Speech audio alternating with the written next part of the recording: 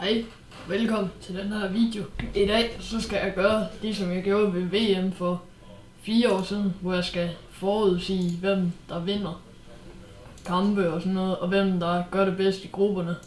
Så her har vi gruppe A, det er Holland, Senegal, Ecuador og Qatar. Og den første kamp, det er Senegal mod Holland. Den tænker jeg, Holland vinder. Men så spørgsmålet lige, hvor meget. Det, det bliver bare en 2-1'er. Så har Holland 3 point. Så Qatar mod Ecuador. Det bliver bare sådan 1-0. Qatar mod Senegal. Den tror jeg bliver 2-0. Holland vinder den her, og det bliver sådan en kildekamp. 1-0. Og den her, den går der ender 0. Oh, 0, 0. Den her, den ender 2-1. Så har vi Holland nummer 1, Senegal nummer 2, Qatar nummer 3. Når så herop, så kan jeg gå ind på gruppe B. England, Iran, USA og ja, så ved man ikke, hvad det sidste er. Det er sikkert ikke et særligt godt øh, England mod Iran, der tror jeg, England de taber 4-0. Ah, det er bare, hvad jeg håber. De vinder nok 3-0.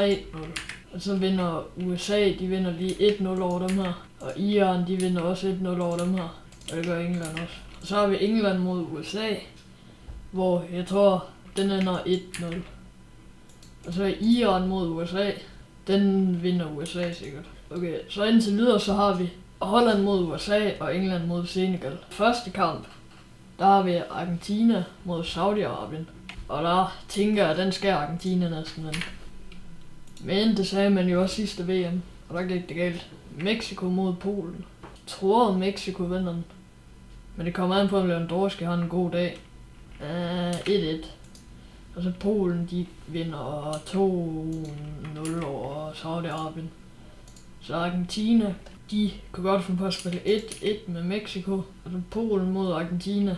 Argentina er jo favoritter, men de kan jo sagtens finde på at smide den. Øh, Lad os bare sige, at de vinder 1-0. Og så Saudi-Arabien, de, de får ikke det eneste. Jo, de får måske lidt enkelt mål, så tror jeg, at Mexico får 3. Sådan der. Og så er gruppe D. Det er Danmarks gruppe.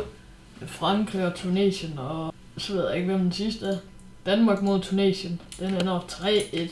Frankrig, de vinder 1-0 over dem der, det gør Tunesien også. Og så Frankrig mod Danmark. Der er jo det der med, at de sidste 20 år eller sådan noget, så dem, der har vundet det tidligere VM, de er ude i gruppespillet ved det næste. Men det tror jeg ikke, Frankrig gør, så den her den ender 1-1. Og så Tunesien, de taber sådan 3-0. Og så vinder Danmark 1-0. Og så kom Danmark faktisk på en del førsteplads med Frankrig, de, okay, Spanien, Tyskland og Japan. Øh, jeg tror, at Tyskland, de gider ikke tabe med. Så nu kommer de og viser. Den her er 1-0, 2-1, og så vinder Spanien 1-0, Japan 1-0. Og så Spanien mod Tyskland. Det, det skal nok blive en god kamp. Men jeg tror, Spanien de vinder 2-1. Og så tror jeg, de vinder 1 over Japan. Fordi så dårlige tror jeg heller ikke Japan er. Altså vinder Tyskland 1-0 over dem her. Og så i gruppe F, Belgien, Kanada, Marokko og Kroatien. Kroatien mod Marokko, det må næsten være Kroatien. Så Belgien mod Kanada, den skal Belgien også have. Jeg kender kun en fra Kanada. Og så Belgien Marokko, den skal de også vinde sådan rimelig. Ah, jo, 4-1. 4-0. Kroatien, Kanada, tror jeg ender 1-0 til Kroatien. Kroatien, Belgien, den kunne jeg faktisk godt tro kunne ende lige 2-2, siger vi. Og så Canada, Marokko. Den skal, den tror jeg Canada vinder 1-0. Så vandt Belgien på målforskel, og så er Kroatien på en anden plads. Og så hvis vi lige går herned og kigger, så har vi Danmark, de skal møde Argentina, og Frankrig skal møde Mexico, Tyskland skulle møde Belgien, og Spanien mod Kroatien. Gruppe G, okay, der har vi Brasilien, Serbien, Schweiz og Kamerun. Og den tror jeg, Schweiz de vinder 2-0. De vinder også 2-0 her. Nej, 2-1. Her der vinder Serbien 1-0. Men det ikke undre mig, hvis den stod lige. Men alligevel så det er Brasilien 2-0 faktisk. Og sådan her den vinder Brasilien 3-0. Og så vinder Schweiz. Men hvor meget? 2-0 måske. Og så vinder Brasilien på første plads og Schweiz på anden plads.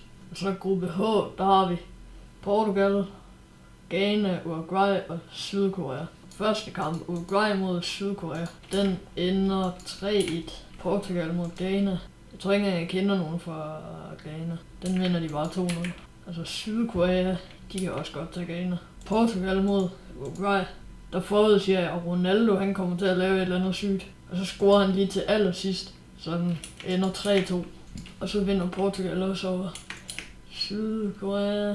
Og Uruguay vinder over Ghana. Og så har vi alle kampene. Brasilien mod Uruguay. Portugal mod Schweiz. Øh, så ved jeg ikke, om der er mere. Om jeg kan forudsige videre, eller... Man kan vist ikke gå videre, men så forudsiger jeg bare her. Holland, de vinder over USA. England vinder over Senegal. Danmark vinder over Argentina. Frankrig vinder over Mexico. Øh, Belgien vinder over Tyskland. Spanien vinder over Kroatien. Brasilien vinder over Uruguay. Og Portugal vinder over Schweiz. Og øh, tak fordi I så med. Hej hej.